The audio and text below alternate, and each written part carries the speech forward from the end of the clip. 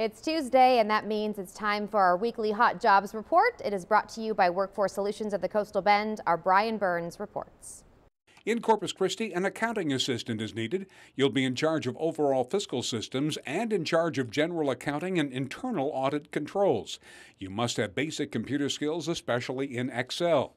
At least one year of experience and a high school diploma or GED is required.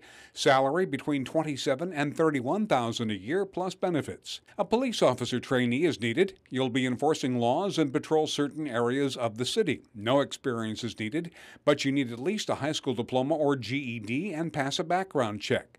Salary is between 48 and $64,000 a year plus benefits. A metal frame carpenter is needed.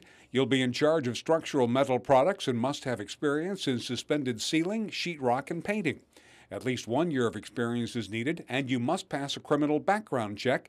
Pay is $15 an hour. In Ingleside, a warrant officer is needed. You'll serve warrants and other processes by the municipal court. At least three years of experience and a high school diploma or GED is required. You'll also need a valid TCOLE license. Salary is between 41 and $42,000 a year plus benefits. And lastly, in Falfurrias, a field technician is needed. You'll remove beams from forms and also do other physical labor at construction sites.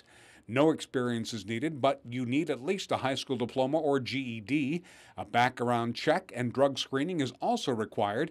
Pay is $15 an hour. To learn more about these jobs and others, contact Workforce Solutions of the Coastal Bend at 888 860 JOBS or visit workintexas.com.